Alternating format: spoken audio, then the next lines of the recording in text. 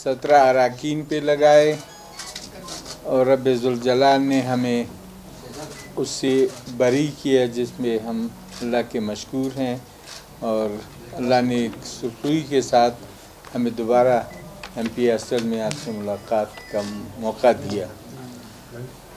ये जो हमारा तीन साल से या ऑनवर्ड यही है कि बलूचिस्तान में गैर मुनसिफाना तकसीम वसाइल, लोगों के तरजीहत को नज़रअंदाज करना और पी, नज़रअंदाज करके पी एस टी पी बनाना और उसको अपनी मंशा के मुताबिक उसको ख़र्च करना, इसके ख़िलाफ़ हमारी जो जद्दोजहद है, उसको अब चूँकि वहाँ, ये तो एक दरमियान में वक्फ़ा आ गया, अब जब हम वहाँ से वापस आएँ तो इस जद्दोजहद को मज़ीद तेज़ करेंगे।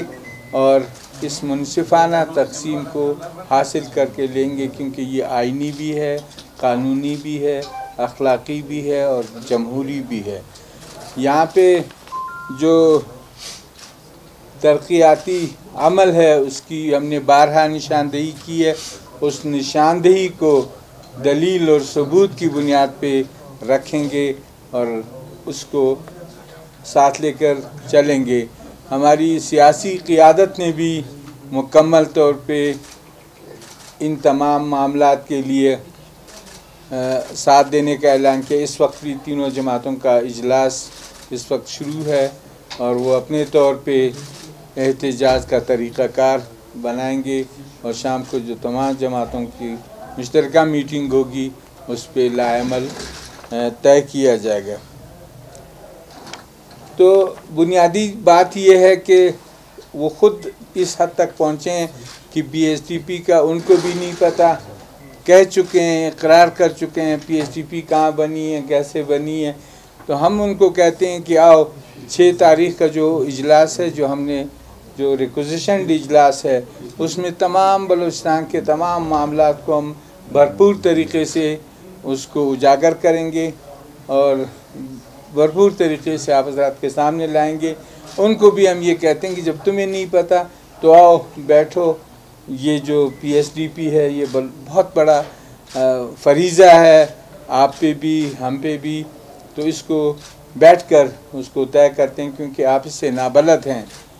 तो अगर हुकूमत इसका मस्बत जवाब नहीं देती, अगर हुकूमत यही अपना जो इस वक्त का उसका रविश है कि पैसे और आ, का हिसाब दिए बग़ैर मनपसंद अफराद को स्कीमात दिए जाते हैं और फिर उनके साथ कोई हिसाब किताब नहीं होता। तो मैं सम, हम समझते हैं अपोजिशन कि ऐसी वक्त में इस हुकूमत को हुक्मरानी ये हुकूमत हुक्मरानी की अहल नहीं है। हमारा मुतालबा होगा कि इसको मुस्ताफ़ी होना चाहिए। अब मज़ीद बलोचिस्तान पे इसको मुसलत नहीं होना चाहिए।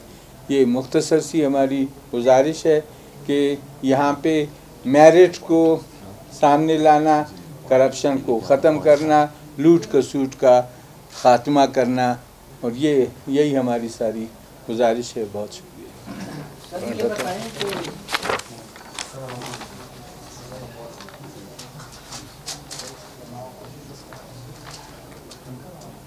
दूसरा बातें करें। अच्छा एक बात वो है कि कल हमारा ये जो जो इस वक्त हम थाने में थे हमारे सत्रह एमपीएस कल या बारह बजे इन यहाँ से मुस्लिम बाग जाएँगे उस्मान काकड़ की ताज़ियत के लिए। वापसी पे फिर उबैदुल्ला कासी की जो बाजियाबी के लिए कैंप लगाया हुआ है उसमें भी हम शिरकत करेंगे। हमारा मुतालबा भी यही होगा कि इनको बाजियाब करने के लिए जितनी भी वसायल हैं उसको गुरु कर लाया जाए।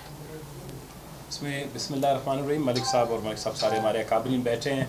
आ, सबसे पहले तो हम आप साफ़ी ज़रात का तय दिल से मशहूर है।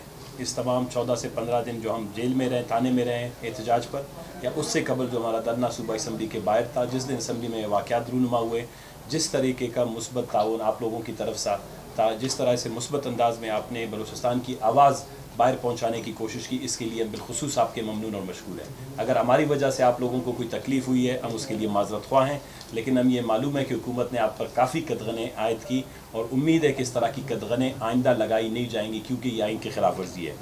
दूसरी बात यह है कि आपके तवसत से हम बलुस्तान के तमाम सियासी जमातों का बहुत सी सियासी जमात उनके अकाबरीन ताजर बरदी ज़मींदार चैम्बर ऑफ़ कॉमर्स और तलबा तनजीमें ख़वातीन की तनजीमें वकला डॉक्टर्स नौजवान डॉक्टर्स और दूर दराज से छः छः सौ सात सात सौ किलोमीटर का फासला तय करके आने वाले और इस धरने में यकजहती का इजहार करने वाले हम अपने दोस्त का बाही का साथी का और बलोचिस्तान के तमाम खैरखाओं का तय दिल से ममनून और मशहूर हैं। और हम ये उम्मीद करते हैं कि ये जदोजहद जिस तरह मलिक साहब ने कहा कि इस जदोजहद का बुनियादी मकसद यही था कि जो वसाइल की गैर मुनफाना तकसीम बजट के ज़रिए की गई है, ये सारी जदोजहद की इब्तदा वहीं से हुई थी। और हम समझते हैं कि वसाइल की गैर मुनफाना तकसीम को दोबारा से जो है अगर वो उस असम्बली में लाया जाता है, बजट को रिविज़न के लिए पी एच डी पी को तब्दीली के लिए, तमाम इलाकों के शहरीों को मनसफाना और मसावत की बुनियाद पर हकूक दिए जाते हैं तो दुरुस्त है। नहीं तो मलिक साहब ने वैसे कह दिया कि तमाम सियासी जमातें अपना लामल वो हमारी सियासी जमातें तय करेंगी और इस तहरीक में मज़ीद तकवीत दी जाएगी। नहीं पता है उनको थमा दिया गया। हम तीन साल से मुनफाना तकसीम की बात करते हैं। लोगों की तरजीहत के मुताबिक उनके उनकी डेवलपमेंट होनी चाहिए। हमारे पास तो सारा सारा स्कीम है सारा कुछ है। उनके पास कुछ नहीं है। उनको तो वही एक लाइन है कि हमें भी पता नहीं है। तो हम कहते हैं हम समझा देंगे आपको। और उस मुनफाना तकसीम पे आप चलेंगे हमें तो अच्छा मलिक साहब ये बताए कि क्या एहतजाज का जो तरीक़ार होगा इससे पहले जो अपनाया गया इस तरह का एहतजाज होगा नंबर एक? और नंबर दो ये कि एफ़ आई आर जो है वो वापस ले ली गई है। आप लोग की जानब से भी वजी अला समेत हुकूमत पर एफ़ आई आर दर्ज करने की दरख्वास्त जमा की गई है। वापस लेंगे या उस दरख्वास्त को मजीद आगे बढ़ाएँगे कि अब हुकूमत के खिलाफ एफ़ आई आर दर्ज हो? देखें हम पे तो जुल्म हुआ है। हमको तो बख्तरबंद गाड़ी से कुचलने की कोशिश की गई। हमारे तो एमपीएस अभी भी हॉस्पिटल में है। तो ऐसी सूरत में ए, हमारा केस वापस लेने का तो सवाल ही नहीं पैदा होता बल्कि हमारी कोशिश होगी। पूरे पाकिस्तान में इस किस्म का जुल्म और बरबरीत नहीं हुआ है कि एम पी एस पे बख्तरबंद गाड़ी चल चढ़ाई गई और कुचलने के अगर हम इसको छोड़ते हैं तो इसका मतलब हम अपने साथियों का खुद इस्तेसाल करते हैं इसे हम दस बर्दार कभी नहीं होंगे। मलिक साहब ये बताएँ कि ये जो चौदह दिन से मामला थे कल दोपहर तक जो है डेडलॉक था। रात को ऐसा क्या हुआ? कोई रेड डोर राबते हुए हैं कोई बात फाइनलाइज हुई है कोई डील तो नहीं हुई? हुकूमत और ऑपोजिशन कागज़ वो लेकर आए आप उनसे पूछें कि उनको किसने हिदायत दी? हमने परसों एहतजाज किया बाहर निकले। कल भी आप आप ज़रा तो तकलीफ़ थी आप वहाँ आए हमने प्रेस कॉन्फ्रेंस की। हमने आगे यही कहा कि अगर इस तरह होगा तो ये ये सारा रोड बंद होगा और हमारी जो जमातें हैं वो अपना एहतजाज शुरू करेंगी। तो ज़ाहिर है कि ये तो अब उनके सवाल है। हमारे तो तेरह दिन से यही एक सवाल था कि हमें अरेस्ट करो या विड्रॉ करो। विड्रॉ उन्होंने लीगली जो डॉक्यूमेंट्स दिए फिर हमने उसको तस्लीम किया मलिक साहब रिक्विजिशन पर आप लोगों ने इजलास तलब किया है। जब उसमें गवर्नमेंट पहले की तरह नहीं आती तो फिर क्या राय होगा? जी? रिक्विजिशन पे आप लोगों ने इजलास तलब किया छः को काल हो गए।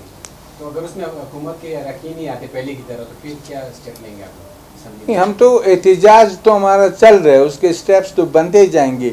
ये भी एक स्टेप है रिक्विजिशन इजलास का। आते हैं नहीं तो आपके ज़रिए हमारी सारी बातें दुनिया तक तो पहुँच जाएँगी। तो देख लीजिए आप लोग क्या अपोजिशन अपनी तरफ़ से ऐसे कौन से मेजर्स लेगी कि 18 तारीख के जैसा वाक्य दोबारा ना आए उसको इंश्योर करने के लिए? देखिए ये तो उन्होंने किया हम अपनी तरफ़ से कुछ नहीं करेंगे लेकिन कानूनी जमहूरी एहतजाज आइनी एहतजाज ये हमारा हक है। और इस हक को जो छीना जा रहा है बलूचिस्तान का इसको रेस्टोर करने के लिए आखिरी हद तक हम जाएँगे। मलिक साहब ये बताइए ये जैसे आप लोगों ने बयान फरमाया अगर हुकूमत आपके साथ बैठ कर के इस नाइंसाफ़ी या जो फंड्स की तकसीम नामनासिब तकसीम उसके लिए बैठने के लिए तैयार न हो तो no option is left behind अंग्रेज़ी मुहावरा है कि आप आईनी दरख्वास्त देने के हैं को हम तमाम वो ऑप्शन इस्तेमाल करेंगे जिससे इस हुकूमत को सरेंडर करने पे मजबूर तमाम ऑप्शन हमारी सियासी जमातें हमारी पुष्ट पर है और जो पार है ये इन्हीं तीन सियासी जमातों के साथ है बलूचिस्तान में। जब एक दफ़ा हम इसी नीयत से जिस तरह अभी हमने फेस किया इसी तरीके से हम निकलेंगे तो इन सारी बातें ठीक हो जाएँगी। और दूसरी आपने आपने उनके मैं मलिक साहब के थोड़ा सा इसमें इजाफा इन एडिशन जो मलिक साहब कि उन्होंने अपने कहा कि रिक्विजिट इजलास पे अगर वो नहीं आते आपको याद होगा कि ये छः महीने से झगड़ा भी इसी बात पे था हम रिक्विजिट करते हैं प्री बजट इजलास के लिए, लेकिन अभी बाद में उन्होंने कहा कि आके असम्बली में बात करेंगे, असम्बली में मामला को सुलझाएँ, असम्बली में हम इनकी सुनेंगे।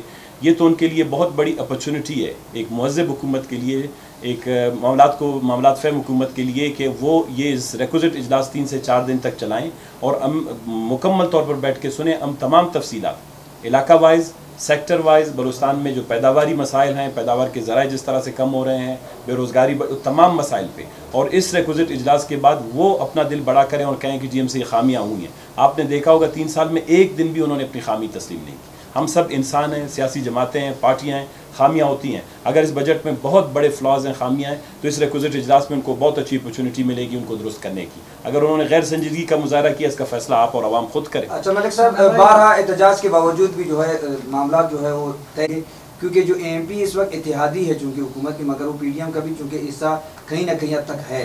क्या पी डी एम में इस मामले को नहीं उठाएँगे? क्योंकि बारह आप लोग एहतजाज भी कर चुके हैं मगर सुनवाई नहीं हुई। देखिए A N P P D M का हिस्सा नहीं है। It has to be clear बाकी रही ये बात कि ये जब हमने अपनी सियासी जमातें हमारी सरपरस्ती में आ गई हैं अब वो अपना तरीक़ाकार तय करेंगी यहाँ की सूबाई सतह पे चलाती हैं, मरकज़ी सतह पे।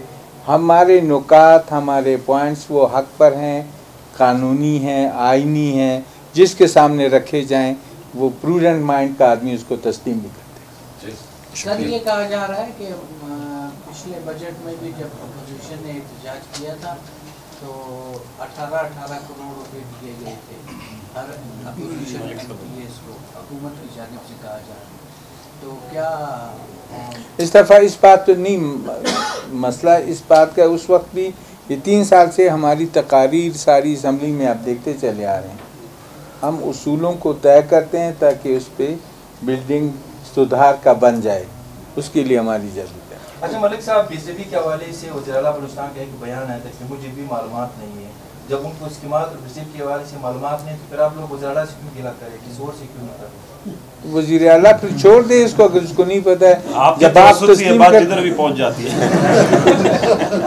साहब वज़ीर आज़म पीर को आ रहे हैं गवादर प्रोजेक्ट का कहा जा रहा है कि वो इफ्तिताह करेंगे?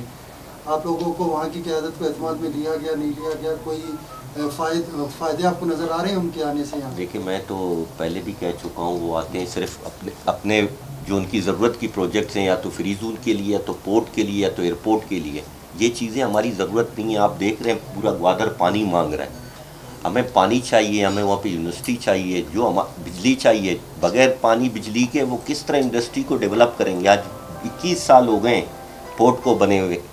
काम को स्टार्ट हुए, लेकिन उसके बावजूद भी ग्वादर के लोग पानी के लिए तरस रहे हमें ना पहले अतमाद में लिया गया है, ना अब अतमाद में लिया गया है, ना उनके विज़िट के हवाले से कोई मुझे इनविटेशन आई है।